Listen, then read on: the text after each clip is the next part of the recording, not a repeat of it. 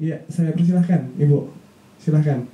Ini, nah, eh, adakah batasan dalam dari sebuah sistem review itu untuk kita jadikan sebuah kajian yang nanti akan kita uh, tindak lanjuti. Berapa batasannya? Apa 5, 10, ataukah hanya yang berhubung?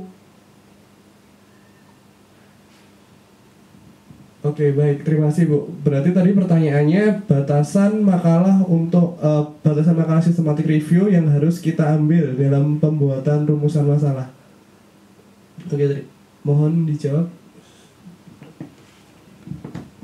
Cari satu makalah sistematik review saja, Ibu. Tadi yang uh, topiknya atau judulnya sesuai dengan minat Ibu. Kemudian seterkini mungkin dan yang bermutu. Nah, mengenai mutu ini kadang-kadang sudah dinilai oleh para ahli. Contohnya tadi kalau kita mengetik kata-kata kunci di health evidence atau di Cochrane. Kalau tidak, belum direview, kita sendiri yang mereview. Tadi oleh Pak atau Saudara Mustafa sudah ditunjukkan makalah yang memuat checklist untuk menilai. Jadi tidak perlu banyak, banyaknya itu waktu mencari. Misalnya tadi waktu kita ketik di Google kan keluar berapa beberapa makalah.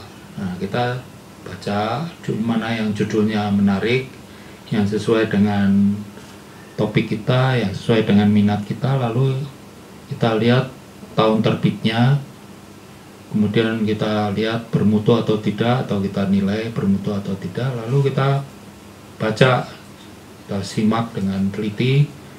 Lalu ada konklusinya ada rekomendasi.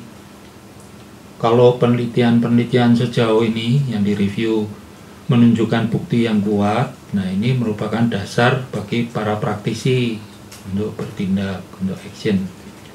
Tapi kalau buktinya belum kuat ini merupakan uh, indikasi untuk para peneliti sebagai masalah penelitian.